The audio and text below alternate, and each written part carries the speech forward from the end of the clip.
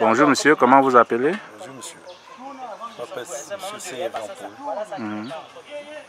Et vous habitez où? Je sors de Femme d'Orso à 7 km de Kamna.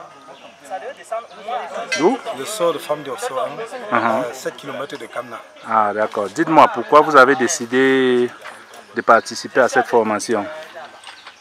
Et moi, parce que surtout le problème de l'eau, c'est la vie.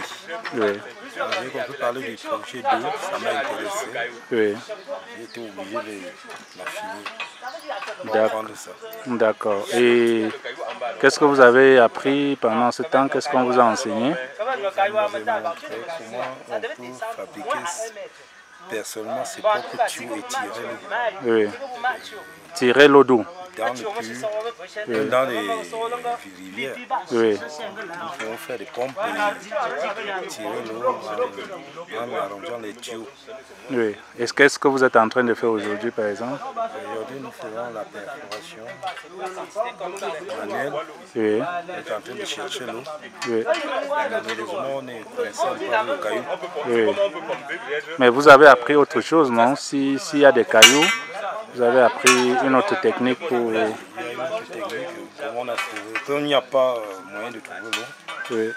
on a appris d'autres techniques de canalisation. On peut canaliser là où il n'y a pas l'eau, on peut canaliser l'eau du toiture, Oui. faire des, des, des réservoirs et mettre l'eau. Oui. On utilise. Oui. En fait, on utilise. Et qu'est-ce que vous direz à la population des femmes du ressort qui n'ont pas pu assister à cette formation mon message est que, que chacun peut avoir l'eau chez lui. Mhm. Et avec notre concours, Oui. tout le monde peut avoir l'eau chez Ursa. D'accord. Et quoi d'autre pourrez-vous dire à la population de Bangwa en général? Tout Bangwa, comme l'eau est devenue vraiment des, sujets tabous à Bangwa. Au moment, Bang- tout Bangwa, chaque Bangwa, dans des zones, même dans des zones qui n'ont pas d'eau, Oui. ils peuvent se rapprocher de nous et avoir l'eau.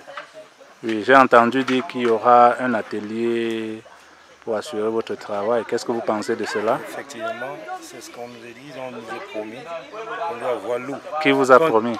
Et, EMAS, et la société EMAS, Non. WebDev Foundation. comme des fondations, nous a promis Oui. qu'on doit avoir l'atelier, les matériels sont déjà là.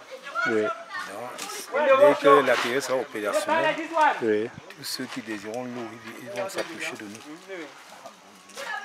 nous. D'accord. Merci. Bonne continuation. hein. Merci, monsieur.